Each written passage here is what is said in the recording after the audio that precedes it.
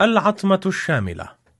لم يعد هذا الخبر يخيف أحدا فقد اعتاده الجميع. ومنهم من اعتاد مجاراة الأمريكي في رفض حلوله الروسية والصينية والإيرانية وعلى مدى أكثر من خمسة عشر عاما. إيه بالزمان آه، آه، اجى عرض إيراني آه، نطت السفيرة لعند الوزير قالت له ما تمد إيدك. حذرته يعني. إيه، يعني طبعا أنت بتعرف اللغة الدبلوماسية بتستعمل تعابير بتودي لها المعاني. ممنوع عن لبنان وما بتتجرأ حكومته. حكومته ما بتتجرأ على الأقل نصها ما بيتجرأ.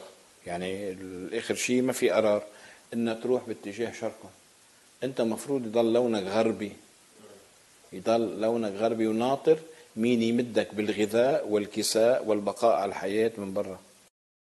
الدولة تبحث اليوم عن برميل نفط لإضاءة مصباح بينما العروض لا تزال في الأدراج مكبلة بالرفض الأمريكي. رفضت عمل لك كل مرة بسبب آه، مرة مثلا عروض سيمنز قال بده يتأكد من أهليتها ومن كفاءتها.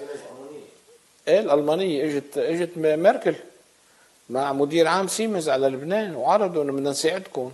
قال بده يتأكد من أهليتهم وبده يعمل لهم تأهيل بوزارة الطاقة. تخيل أنت بدك تلاقي تجيب مهندس بوزارة الطاقة بالكاد بالكاد شاغل هندسي بالكهرباء مش شاغل. بده هو يقيم سيمنز لأنه أنت سيمنز بحاجة لمهندس بوزارة الطاقة يقيمها. ليش عم آه لأنه ما بدنا إلا تلزيم وعقود يهندسها الوزير ويهندس دفاتر الشرطة وتدخل على حظيرته يرتبها ويعمل الاتفاقيات الخفية حوله ومن وراء ظهر الحكومة والرأي العام ويحصد منها منافع آه، مستقبلية. نعم حساب المال العام.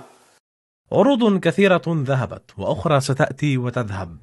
وطالما أن العصا الأمريكية غليظة ستبقى بيوت الناس مطفأة.